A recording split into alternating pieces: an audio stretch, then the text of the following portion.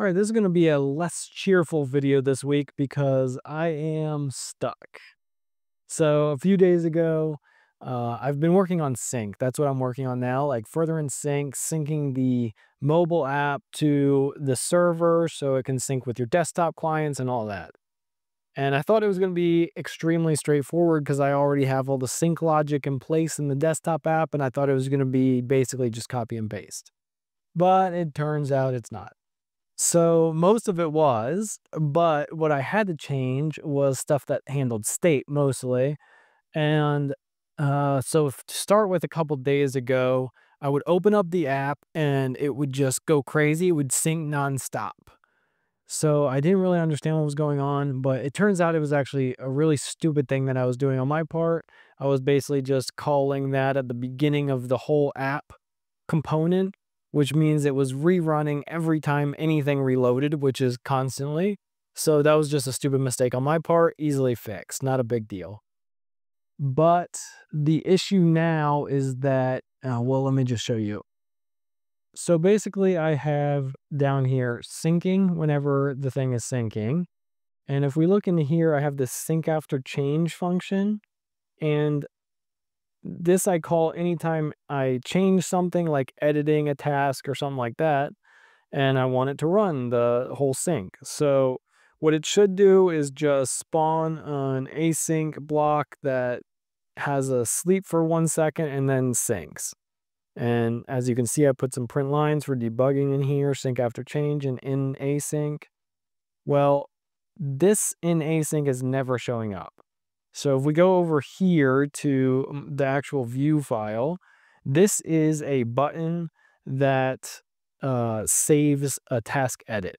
So anytime I edit a task, this runs and basically just checks that everything's good, updates the database, and then updates the history, and then syncs right here, and then closes the sheet. So it turns out the problem area is closing the sheet. So I'll show you in the app. So let's say I take this tester 6 and I change it to tester 7 and I save.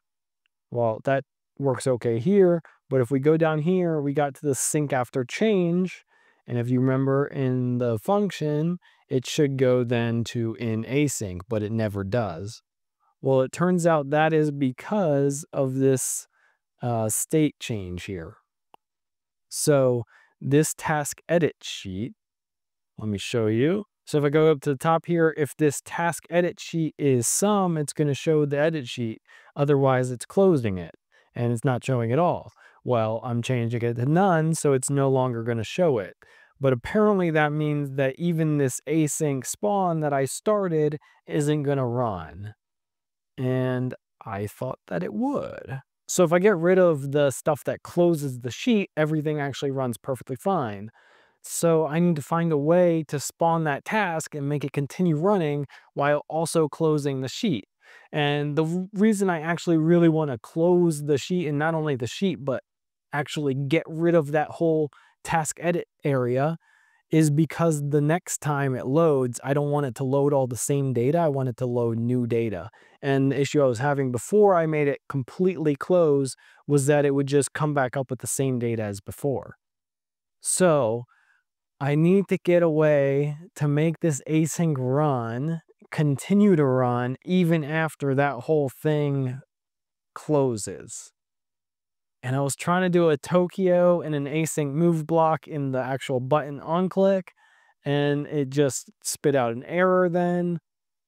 So I don't know how to do this, unfortunately. I'm going to keep looking at the docs. I also wrote down some ideas I had yesterday when I was just like thinking about it. I just had to stop and like watch something because I just couldn't think about it anymore. I was thinking about it for like, I was like working on it actively for like three hours and I just could not come up with a solution. So I wrote down a couple other things that I'm going to try, but uh, I think I need to just reread like uh, like read word for word the Dioxus docs, which obviously I have been reading the docs and been trying stuff, but there's something I don't understand. Or it's just not possible. I feel like that's not the case, but it could be. And the worst, worst case scenario in this situation is that I just let the thing continue syncing every 15 minutes instead of syncing every time I make a change or when the user manually syncs. But I would really like to avoid that. It'd just be way nicer for the user experience to sync every time a change is made. So I need you. If you have any ideas, if you know how to do this in Rust or just Dioxus or whatever, or another language that maybe I can work off of, please let me know in the comments. I really could use some help on this. And I will let you know in the next update if I actually got through it. Let's fingers crossed, we'll see.